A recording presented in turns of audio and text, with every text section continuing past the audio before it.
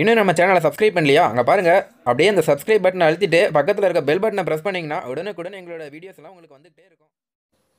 Hello viewers அனைத்து போட்டிகளிலுமே தோல்வி அடைந்துவிட்டு ஏதாவது காரணம் கூற முடியாது என பெங்களூர் அணியின் கேப்டன் கோலி அவர்கள் தெரிவித்துள்ளார். டெல்லி அணிக்கு எதிரான போட்டியை நான்கு விக்கெட் வித்தியாசத்தில் பெங்களூர் அணி தோற்றுள்ளது. அந்த அணி தோற்ற போதிலும் கேப்டன் கோலி மட்டும் போராடி நாற்பத்தி ஒரு ரன்கள் எடுத்தார். போட்டி முடிந்த பின்னர் பேசிய விராட் கோலி அவர்கள் நாங்கள் நூற்றி அறுபது ரன்கள் வரும் என்று நினைத்தோம். ஆனால் நூற்றி ஐம்பது ரன்கள் தான் அடித்தோம். எங்களுக்கு தெரியும் இது பொறுமையான ஆட்டம்தான். கடந்த போட்டியைப் போன்று இதுவும் மோசமான போட்டிதான். நூற்றி ஐம்பது என்பது கடினமான இலக்கு. ஆனால் நமக்கு வாய்ப்பு கிடைக்கும் போது அதை சரியாக பயன்படுத்த வேண்டும். ஸ்ரேயா ஐயர் நான்கு ரன்கள் இருக்கும்போது அவரது கேட்சை விட்டுவிட்டனர்.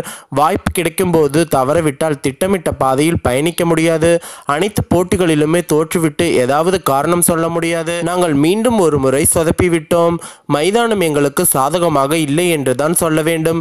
எங்கள் அணியை பற்றி சொல்வதற்கு எதுவும் இல்லை எங்கள் அணியினரிடம் பொறுப்புடன் இருங்கள் என ஏற்கனவே கூறியுள்ளேன் இத்தனை போட்டிகளில் தோற்றுவிட்டோம் என எண்ணினால் இனி வரும் போட்டிகளில் சிறப்பாக விளையாட முடியாது. எனவே கிரிக்கெட்டை மகிழ்ச்சியுடன் விளையாடுவோம் என்றார் விராட் கோலி அவர்கள். இதே போல ஐபிஎல் தொடர் தொடங்குவதற்கு முன் ஆர்சிபியில் தொடர்ந்து கேப்டனாக இருந்து வரும் விராட் கோலி ஒருமுறை கூட சாம்பியன் பட்டத்தை கைப்பற்றவில்லை. டோனி ரோஹித் சர்மா தலா மூன்று முறை சாம்பியன் பட்டத்தை வென்றுள்ளனர். அவர்களுடன் விராட் கோலியை ஒப்பிட இயலாது. இதுவரை அவரை ஆர்சிபி கேப்டனாக வைத்திருப்பதால் அவர் அணிக்கு நன்றி சொல்ல வேண்டும் என்று கௌதம் கம்பீர் கூறியிருந்தார்.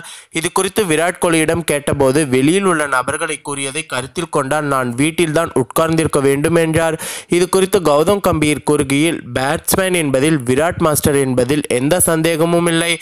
ஆனால் கேப்டன் பதவியில்தான் அவர் அப்ரண்டிஸ் இன்னும் கேப்டன் திறமையை அவர் வளர்த்து கொள்ள வேண்டும். பந்து வீச்சாளர்கள் மீது சாடுவதை விட்டுவிட்டு தோல்விக்கு காரணத்தை அவரே ஏற்றுக்கொள்ள வேண்டும். அவர்கள் எங்கே சறுக்கினார்கள் என்பது நான் எடுத்து கூறுகிறேன். தொடர் தொடங்கும் போதே மார்கஸ் டென்னிஸ் மற்றும் நாதன் கவுடர் நாயுல் ஆகியோரால் விளையாட முடியாது என்பது தெரிந்தும் ஏன் அவர்களை தேர்வு செய்தார்கள்? பிளேட் ஆடுகளமான சின்னசாமி மைதானத்தில் வேகப்பந்து வீச்சாளர்களுடன் முழு பலத்தில் களமிறங்க வேண்டும்.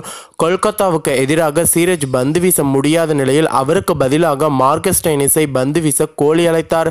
அதற்கு பதிலாக பவன் நாயை பந்து வீச அழைத்திருக்க வேண்டும். ஏனெனில் ஆடுகளத்தில் கிரீப்பிங் இருந்தது. ரசல் வேகபந்து வீச்சை தூசம் செய்வார் என்பதை தெரிந்து கொள்ள பெரிய மூளை தேவையில்லை என்றார் கௌதம் கம்பீர் அவர்கள். மேலும் இதே போல விராட் கோலி அவர்கள் உலகிலேயே சிறந்த பேட்ஸ்மேனாக இருந்தாலும் தேவையற்ற ஆக்ரோஷத்துடன் செயல்படுவதாகவும் வேகம் இருக்கும் அளவுக்கு விவேகம் இல்லை எனவும் இதனால் விராட் கோலியின் கேப்டன் பதவியின் மீதான நம்பகத்தன்மை குறைந்து வருவதாகவும் கடுமையாக குற்றம் சாட்டி வருகின்றனர். இதனால் களத்தில் துரிதமாகவும் அமைதியுடனும் செயல்படும் தன்மை விராட் கோலிக்கு கிடையாது. ஆதலால் தோனி அவர்கள் சிறந்தவர். எனவே உலகக்கோப்பை அணிக்கு தயவு செய்து விராட் கோலியை நீக்கிவிட்டு டோனி அவர்களை கேப்டனாக நியமிக்க வேண்டும் என்று ரசிகர்கள் தங்கள் கருத்துக்களை தெரிவித்து வருகின்றனர். தற்போது இந்த தகவல்கள் தான் சமூக வலைத்தளங்களில் வைரலாக பரவிட்டுருக்கு. மேலும் இந்த தகவல் உங்களுக்கு பிடிச்சிருந்ததுன்னா மறக்காமல் லைக் பண்ணி ஷேர் பண்ணுங்கள் இது போல தகவல்களை தெரிந்து கொள்ள நம்ம சேனல் உடனடியாக சப்ஸ்கிரைப் பண்ணுங்கள் தேங்க்யூ